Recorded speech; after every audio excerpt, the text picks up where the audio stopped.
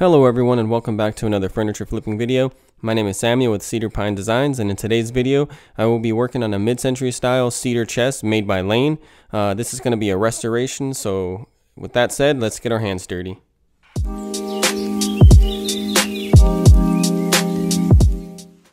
Typically I start off by cleaning my pieces and getting them ready to prep, but for this one, the legs are broken in the back, so I have to create some new legs for it. So I'm going to take that apart, disassemble it, and then I'll probably start by cleaning everything up.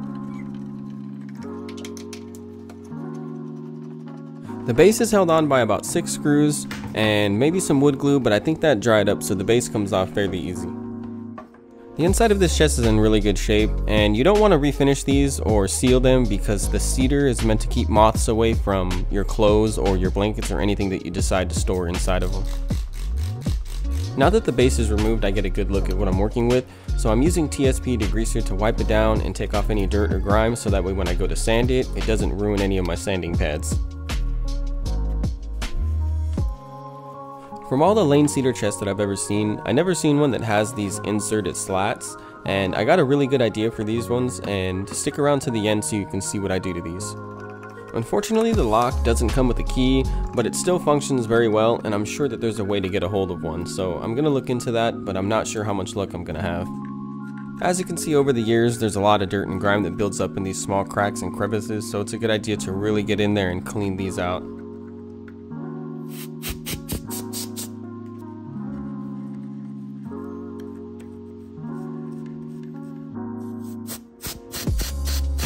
Once I'm done getting the rest of the dirt out using some compressed air in a can, I get my pick tool and a rag and I clean the rest out with some water.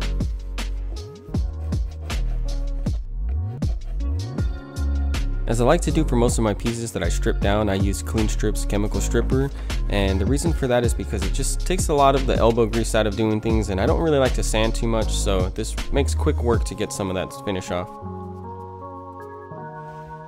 For this piece, I'm going for a restoration look. It may not look identical, but I'm not going to add any paint to this piece, so I have to strip this whole entire thing down and sand it down to bare wood so that I can stain it. When using stripper, especially a chemical stripper, you want to make sure to not let it dry out, and some tips that I got in the comments below that I haven't really used yet, but you put some saran wrap or plastic wrap over your premium strip, and it keeps it from drying out.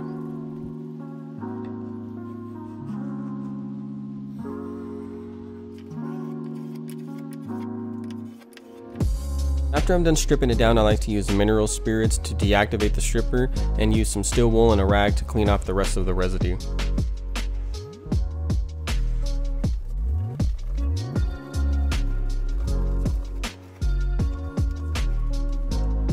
For the legs and a piece of the stretcher, I have to rebuild them from scratch because they were just in bad shape because whoever had it before tried to repair it by just stuffing a bunch of glue inside the cracks and it really ruined the wood.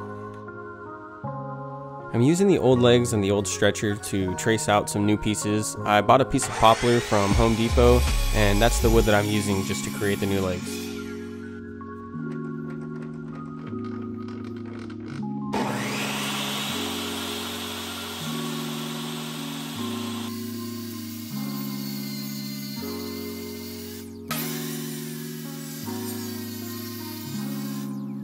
I'm using my palm router with a 1 8 inch roundover bit and I'm doing that so that it'll match the front ones and it'll give it a softer edge. Having a workbench with a built-in clamp is very convenient for holding pieces down like this so that they don't move on you when you're trying to route them out or cut them.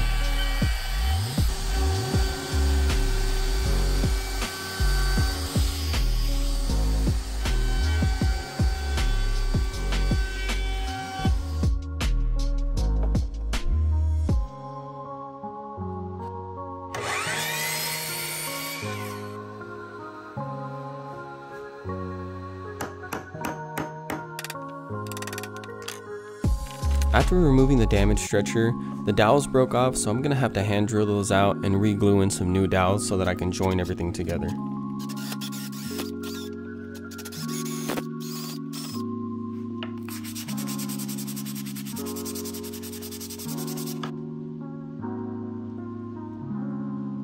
I'd like to take a second to thank everybody who watches my videos and leaves me just the most wonderful comments below. Um, I appreciate all of you and thank you very much for coming back and watching all of my videos.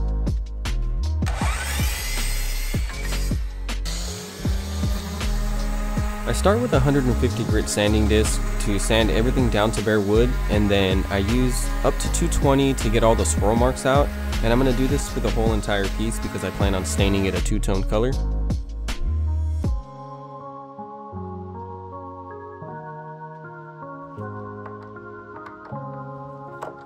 I'm removing the top to make it a lot easier to move around and also when I go to stain the top and the sides I don't really want to get any on the top side of the inside boards so this is just going to make it a lot easier.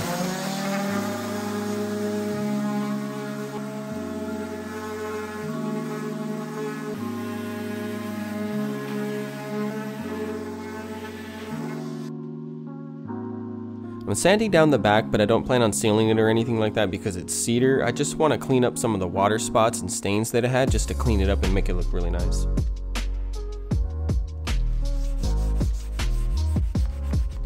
After finishing up with the electric sander, I go ahead and hand sand all the tight corners and all the tight spaces that the sander couldn't reach. I start off with 150 and 220 grit to clean it all up.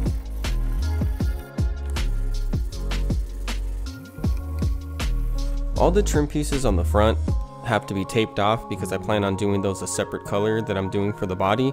And especially too they're two different types of wood. I believe the veneer is like a walnut and the front is some sort of poplar. That I'm not sure of. Um, leave a comment below if you can tell what kind of wood it might be. Uh, it'd be very helpful. One thing I did for the back I'm doing for the bottom. I taped off the serial number and I'm just gonna scuff sand it up just to get rid of any imperfections. And I don't plan on sealing that side either for this piece, I'm using a dark walnut varathane stain. It's oil based, takes quite a bit of time to dry, but because of the difference between the wood, it's going to give it a nice contrast between the body and all the trim.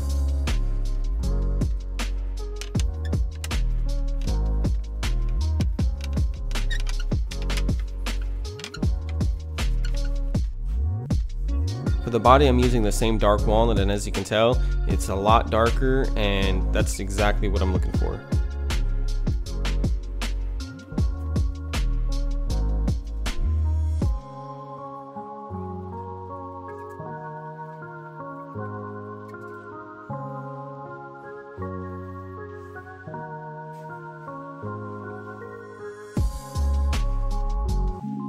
The more coats you put, the darker it's going to get, and for me, one coat was more than enough. It's just as dark as I want it to be, and look at the contrast between the body and the trim pieces.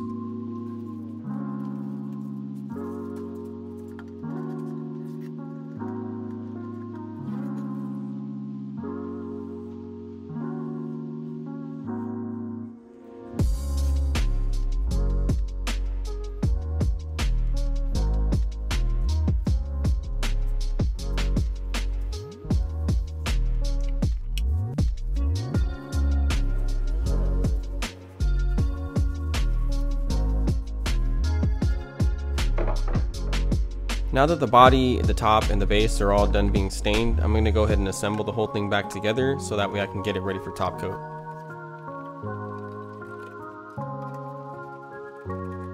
I didn't show it in the video, but I did trim off about an eighth inch on each side of the top because it did have some veneer chip out and it looked kind of unrepairable. So just by doing that, you'll never even notice.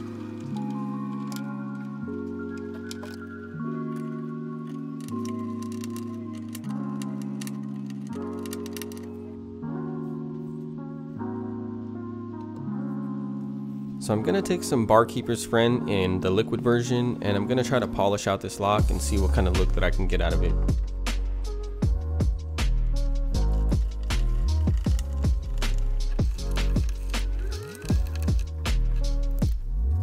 I was quite surprised to see it polish out to like a nice copper color and I think it's to look amazing once it's installed.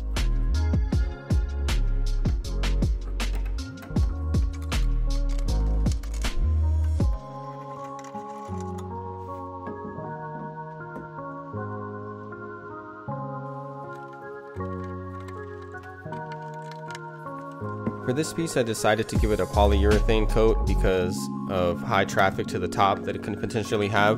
So I'm using Varathane's polyurethane, water-based with a satin finish, which is my favorite go-to.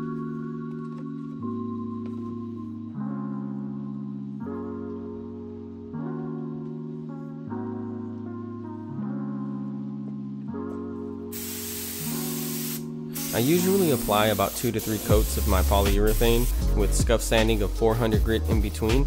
I use 400 grit because I've noticed that 220 grit will leave some scratches behind if you're not careful and I'd rather just use 400 grit to give it a nice smooth finish in the end. Polyurethane tends to go on with like a blue hue, but don't worry because once it's dry that goes away and it's completely clear.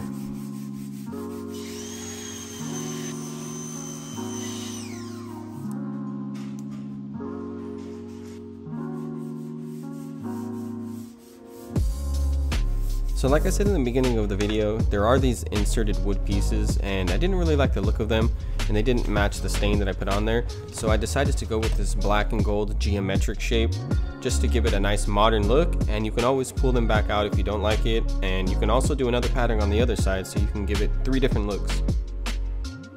I measured the very center of this wood slotted piece and I just picked a point of the geometric pattern to line up with that middle piece so that my other piece can be symmetrical to this piece. A razor blade makes quick work of trimming off this wallpaper and now that that's done that's the last step so let's go ahead and take a look at how this piece used to look before so that way we can see what it looks like now.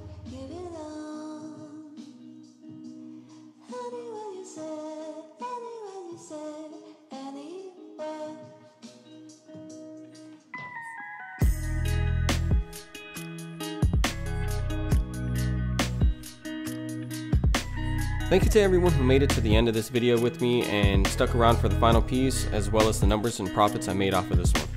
I paid $80 for this chest and spent $60 in materials to refinish this entire project including the wallpaper and the wood. I then listed it for $600 and got my full asking price within two days netting me a profit of $460. I put a total of about 6 hours labor making my hourly rate around $76 which is a huge score. I can't wait to see everyone in the comments and on my next project. Thank you for sharing this journey with me, and I'll see you on the next one.